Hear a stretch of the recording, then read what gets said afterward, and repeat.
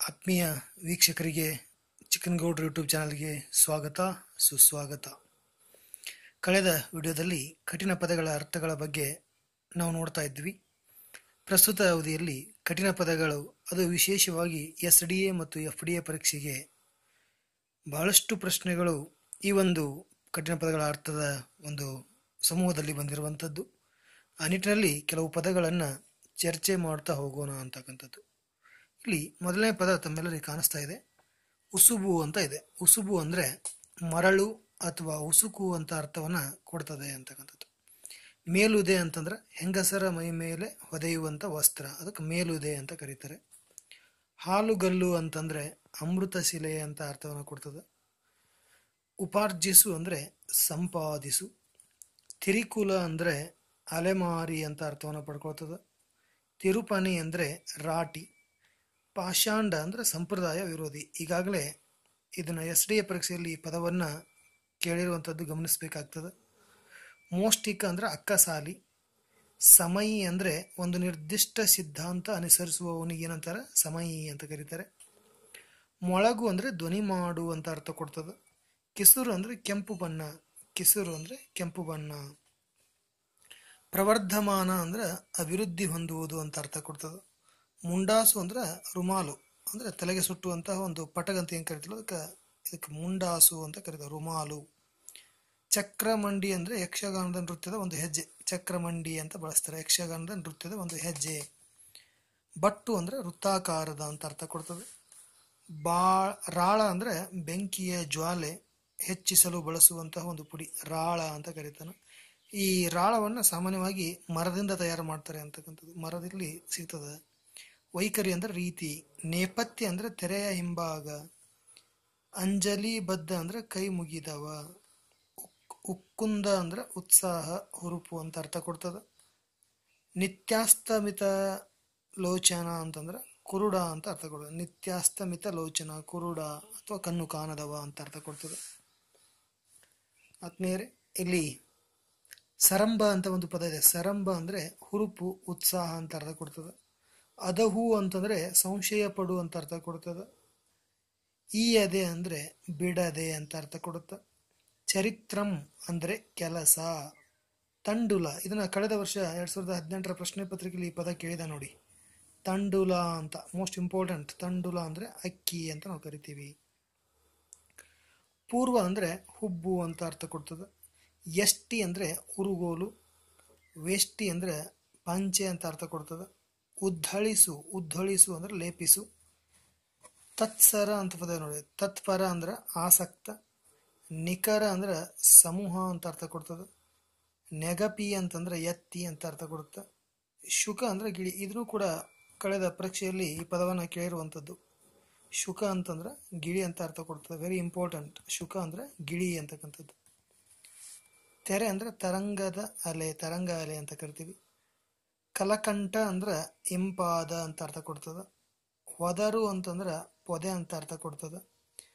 ID ಅಂದ್ರೆ ಬಂಧು ಅಂತ ಅರ್ಥ ಕೊಡ್ತದ. ಚೆವಿ ಅಂದ್ರೆ ಕಾಂತಿ ಅಂತ ಅರ್ಥ ಕೊಡ್ತದ. ಪೋರ್ಲು ಅಂದ್ರೆ ಚಂಪ ಅಂತ ಅರ್ಥ ಕೊಡ್ತದ. ಎಸೆ ಅಂದ್ರೆ ಶೋಭಿಸು. ಢಾಳಿಸು ಅಂದ್ರೆ ಪ್ರಕಾಶಗೊಳಿಸು. ಮೂಲೋಕ ಅಂದ್ರೆ ಮೂರು ಲೋಕ. ಮಂಚದಿ ಅಂದ್ರೆ ಒಳ್ಳೆಯದು. ಇಲ್ಲಿ ಮತ್ತೊಂದು ಶಬ್ದ ಕಾಣಿಸ್ತಾ ಇದೆ. ಅಡಗು ಅಂತ ಇದೆ. ಅಡಗು ಅಂದ್ರೆ ಮಾಂಸ ಅಂತ ಅರ್ಥ ಕೊಡ್ತದೆ. ಅಭಿತೆಯಾಗು ಅಂದ್ರೆ ಹೆದರದಿರು. ಅಲರ್ವದ ಅಂದ್ರೆ ಹೂ ಬಿಟ್ಟ ಅಂತ ಅರ್ಥ ಕೊಡ್ತದೆ. ಚರಿಗೆ ಅಂತಂದ್ರೆ ಭಿಕ್ಷಾಟನೆ ಅಂತ ಅರ್ಥ ಕೊಡ್ತದೆ. ಅವಧಾರಿಪುದು ಅಂದ್ರೆ ಗಮನ ಕೊಡುವುದು. ನೀರಜೆ ಅಂದ್ರೆ ತಾವರೆ. ನೋಡ್ರಿ, ನೀರು ಅಂದ್ರೆ ನೀರು ಗೊತ್ತಾಗ್ತದೆ. ಜೆ ಅಂದ್ರೆ ಹುಟ್ಟಿದ್ದು. ನೀರಿನಲ್ಲಿ ಹುಟ್ಟಿದ್ದು ತಾವರೆ ಅಥವಾ ವನಜ ಅಂತ ಕರಿತೀವಿ. ಯುಗಲ ಅಂದ್ರೆ ಜೊತೆಯಾಗಿ, ಯುಗಲ. ಯುಗಲ ಅಂದ್ರೆ ಜೊತೆಯ ಅಶನ ಅಂದರೆ ಅಣ್ಣ ಇದನ್ನ ಬಹಳಷ್ಟು ಸಲ ಪರೀಕ್ಷೆಯಲ್ಲಿ ಕೇಳಿದಾನೆ ಅಶನ ಪದದ ಅರ್ಥ ಕೇಳಿದಾನೆ ಅಶನ ಅಂದ್ರೆ ಅಣ್ಣ ವಶನ ಅಂದ್ರೆ ಅಶನ ಅಂದರೆ ಅಣ್ಣ ವಶನ ಅಂದರೆ ಬಟ್ಟೆ ಅಂತ ಅರ್ಥ ಕೊಡ್ತದೆ. ಬಟ್ಟೆ. ಬಟ್ಟೆಗೆ ವಶನ. ಏಕದಂಡಿ ಅಂದ್ರೆ ತಂತಿವಾದ್ಯ. ಒಂದು ರೀತಿಯ ತಂತಿವಾದ್ಯ ಏಕದಂಡಿ ಅಂತ ಕರಿತೀವಿ. ದಿವಿನಾಗು ಅಂದ್ರೆ ಮೈ ತುಂಬಿಕೊಳ್ಳು ಅಂತ ಅರ್ಥ ಕೊಡ್ತದೆ. ಮೊರ ಅಂದ್ರೆ ಕೇರುವ ಸಾಧನ ಅಥವಾ ಗೆರಸೆ ಅಂತ ಕೂಡ ಅರ್ಥ ಕರಿತೀವಿ. ದಂಡಿಗೆ ಅಂದ್ರೆ ಪಲ್ಲಕ್ಕಿ ಹೊರುವ ಕೋಲು ಇದೆಯಲ್ಲ, ಆ ಕೋಲಿಗೆ ದಂಡಿಗೆ ಅಂತ ಕರಿತೀವಿ. ಅಡಸಿ ಅಂತಂದ್ರೆ ಮುತ್ತಿ, ಆವರಿಸಿ, ಬಯಸಿ ಅಂತ ಅರ್ಥ ಕೊಡ್ತದೆ. ಅಸಳ್ ಅಂತ ಒಂದು ಪದ ಅಸಳ್ ಅಂದ್ರೆ ಬಳಲಿಕೆ, ದನಿವು ಅಂತಕ್ಕಂಥದ್ದು. ಈ ಶಬ್ದನ ಕೇ ನೋಡ್ರಿ, ಕಳೆಯ ಪ್ರಶ್ನೆ ಪತ್ರಿಕೆಯಲ್ಲಿ ಇದೆ ಇದೆ. ಎಕ್ಕಲ ಅಂತ ಒಂದು ಪದ ಇದೆ. ಎಕ್ಕಲ ಅಂದ್ರೆ ಹಂದಿ ಅಥವಾ ಸೂಕರ ಅಥವಾ ವರಾಹ ಅಂತಕ್ಕಂಥದ್ದನ್ನು ಗಮನಿಸಬೇಕು. ಕಡವರ ಈ ಪದವನ್ನು ಕೂಡ ಬಹಳಷ್ಟು ಸ್ವಲ್ಪ ಪರೀಕ್ಷೆಯಲ್ಲಿ ಕೇಳಿದಾನೆ ಎಸ್ ಡಿ ಎ ಮತ್ತು ಎಫ್ ಡಿ ಎದಲ್ಲಿ ಕಡವರ ಅಂದ್ರೆ ಚಿನ್ನ, ನಿಧಿ ಅಂತ ಅರ್ಥ ಕೊಡ್ತದೆ. ಮಜ್ಜ ಅಂದ್ರೆ ಕೊಂಡಾಲದ ಒಂದು ಮಾತು, ಕೊಂಡಾಟದ ಒಂದು ಮಾತು ಮಜ್ಜ ಅಂತ ಕರಿತೀವಿ. ರುಜೆ ಅಂದ್ರೆ ರೋಗ ಅಥವಾ ಕಾಯಿಲೆ ಅಂತ ಅರ್ಥ ಕೊಡ್ತದೆ. ಸಾಲ ಬಂಜಿಕೆಗಳು ಅಂದ್ರೆ ಗೊಂಬೆಗಳು, ನೋಡಿ ಸಾಲ ಬಂಜಿಕೆಗಳು ಅಂದ್ರೆ ಗೊಂಬೆಗಳು. ಅದಟ ಅಂದ್ರೆ ಶೂರ, ವೀರ most important S D F ಡಿಗೆ ವಶದ್ದು ಅಂದ್ರೆ ಮೆಚ್ಚಿ. ಪಸಾಯ ಅಂದ್ರೆ ಉಡುಗೊರೆ ಅಥವಾ ಬಹುಮಾನ, ಸತ್ತಿಗೆ ಅಂದ್ರೆ ಛತ್ರಿ ಅಂತ ಅರ್ಥ ಕೊಡ್ತದೆ. ಅಗ್ಗಳ ಅಂದ್ರೆ ಶ್ರೇಷ್ಠ. ಲಲಿತ ಅಂದ್ರೆ ಸುಂದರ, ಸರಳ ಅಂತ ಅರ್ಥ ಆಗ್ತದೆ. ಆರಯ್ಯ ಅಂದ್ರೆ ಪಾಲನೆ, ಆರೈ ಆರೈ ಅಂದ್ರೆ ಪಾಲನೆ ಅಂತ ಅರ್ಥವನ್ನ ಕೊಡ್ತದೆ. ಇಲ್ಲಿ ಒಂದಿಷ್ಟು ವಿಶೇಷ ಶಬ್ದಗಳನ್ನ ತಾವೆಲ್ಲ ಗಮನಿಸಬೇಕಾಗ್ತದೆ ಸ್ಪರ್ಧಾ ಮಿತ್ರರೇ ವಾರಗಳಿಗಿರುವಂಥ ಬೇರೆ ಬೇರೆ ಹೆಸರುಗಳು ಏನಿದಾವೆ ನೋಡಿ. ಭಾನುವಾರಕ್ಕೆ ರವಿವಾರ ಅಂತ ಕರಿತೀವಿ.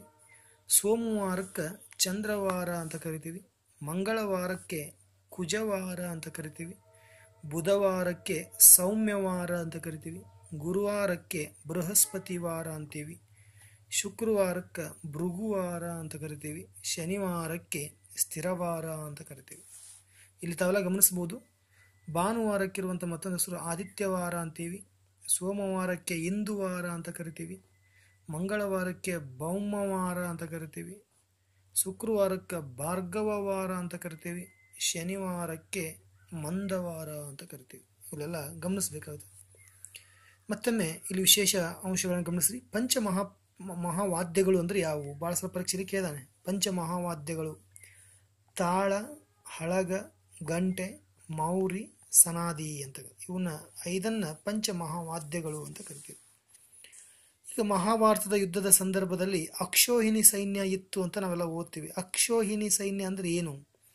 ಅಕ್ಷೋಹಿಣಿ ಸೈನ್ಯವೆಂದರೆ ಇಪ್ಪತ್ತೊಂದು ಸಾವಿರದ ಎಂಟುನೂರ ಎಪ್ಪತ್ತು ಆನೆಗಳು, ಆನಂತರದಲ್ಲಿ ಇಪ್ಪತ್ತೊಂದು ಸಾವಿರದ ಎಂಟುನೂರ ಎಪ್ಪತ್ತು ರಥಗಳು, ಅರವತ್ತೈದು ಸಾವಿರದ ಆರುನೂರ ಹತ್ತು ಕುದುರೆಗಳು, ಒಂದು ಲಕ್ಷ ತೊಂ, ಒಂಬತ್ತು ಸಾವಿರದ ಮುನ್ನೂರ ಐವತ್ತು ಕಾಲಾಳು ಸೈನ್ಯ.